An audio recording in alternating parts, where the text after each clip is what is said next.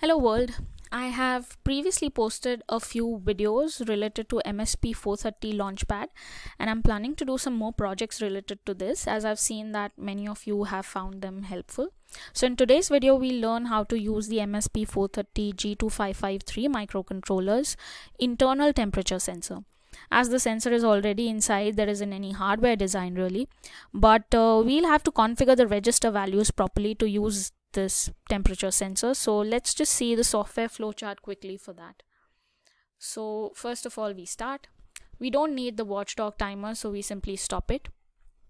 We have to configure the ADC10 registers and these are nothing but ADC10 CTL0 and CTL1 registers. I've covered in depth of how we go about doing the same as well.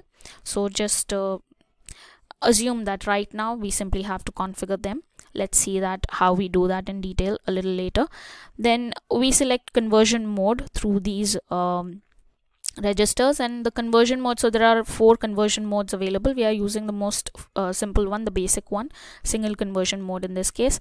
And uh, we also select the input channel using these registers. So we are going to select the temperature sensor related channel. Then we also enable the um, ADC interrupt and we turn the ADC on. Then we instruct it to enable and start the conversion. And within the program then we enter into the low power mode 0 and keep all the interrupts enabled. So what happens in the background in the ADC is that when a conversion is triggered using your enable and start the conversion, the voltage at the selected input channel, that is in this case the temperature channel, is sampled. This voltage is converted into a digital value. That's what an ADC usually does. And that value gets written into your ADC 10 mem register. So the moment you enable this um, interrupt the ADC then after the value is written into the ADC 10 mem register interrupts uh, your controller and you go to the ISR basically after that. And within the ISR we are not doing anything except for disabling the low power mode. And all the calculations and everything should be kept in the main program. You should not uh, put anything much in ISR and uh, simply fetch the temperature value from ADC 10 mem register because this won't be in degree Celsius. We'll have to convert it into degree Celsius and then that's it. Stop the thing. So this is how the flowchart is. Now let's see how to configure the ADC 10 CTL1 and CTL0 registers. So first of all there's this bit called as sref bit. It has got four values. We select one um, so 0 by default gives you a VCC as your VR plus. We want we don't want to use 3.3 volts. We want to use either 1.5 or 2.5. So that's the VREF plus voltage and VR minus in this case will be 0. So we are selecting the SREF bit as 1 for this particular purpose. Now the default VREF plus is always 1.5 and that's what we intend to use. So you simply have to then just set the ref bit which will turn on the reference generator for us. Then after that you have to select the sample and hold time using the same register. Right now just remember that we are selecting it as 64 cycles. Why we are doing that will become clear when we discuss the ADC10 CTL1 register. Um, right now just remember 64 cycles for this you also enable the interrupt using the same register. Now all these four steps you can combine them together and uh, set all the particular values in of this register together. But enabling and starting of the conversion only happens when you've configured all the ADC registers. So for that you make a separate uh, call. I mean you write you write that particular line separately because you can't do enabling on starting of the conversion before you've set obviously all the registers properly so that will happen separately. Rest four steps can happen together.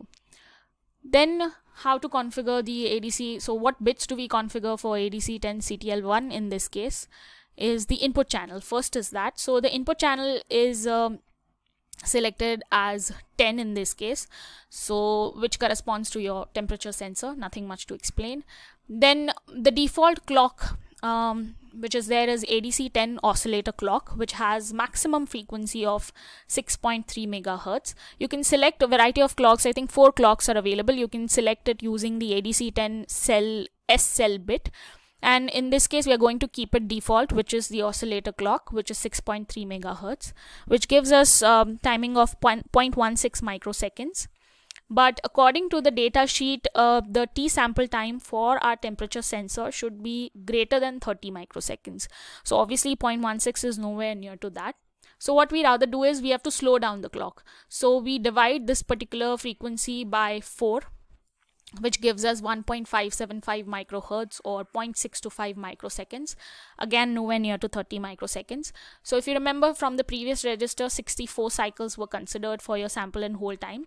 So we simply multiply 0.625 with your 64 and uh, then we get approximately 40 microseconds which is obviously way greater than 30 microseconds. So then we are sorted with the sampling time and uh, this is how we configure these two registers in our case.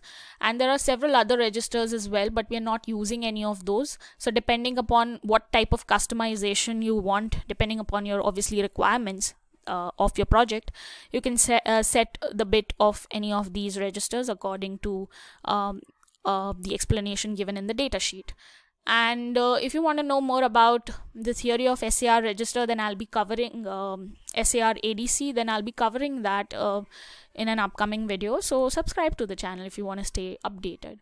Now moving on with this there's also another thing that we have to do is converting the ADC value to temperature. Now for that uh, we've been given one formula in the data sheet which uh, relates our voltage with the temperature so what we really need is the temperature value and not the voltage value. So we simply reshuffle the terms and we get the temperature value to be so and so which we call as equation 1 for now because in this equation we have to substitute the voltage value which we don't really have.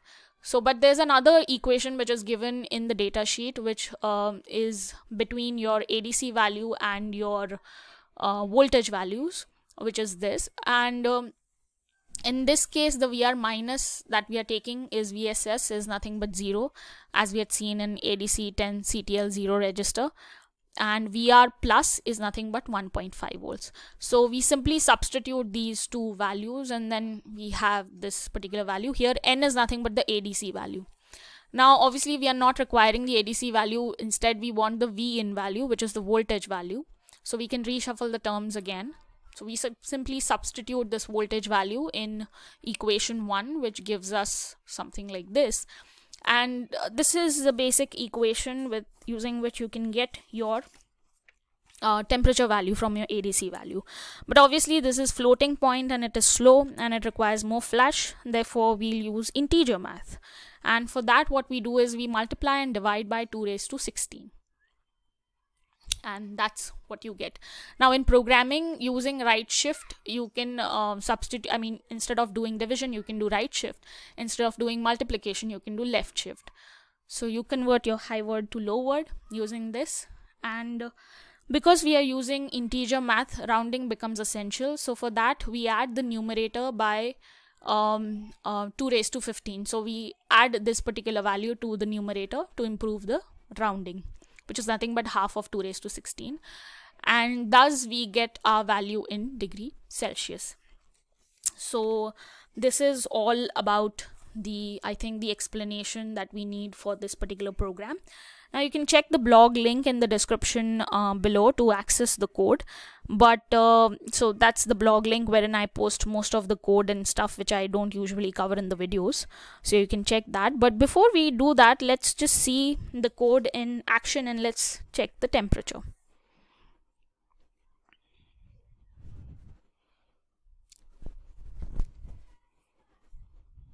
So we debug it.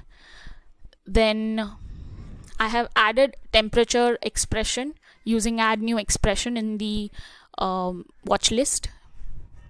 And you can put bullet points wherever you think they are essential. And this is very small code so we can just step into each of the lines and we can debug it. So you can see that the loading is done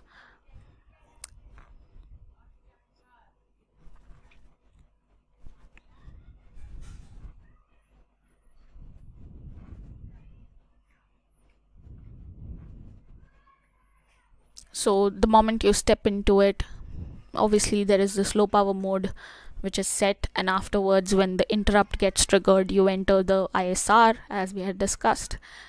And then once you come out of it you fetch the value of adc 10 mem and uh, let's see what's the value.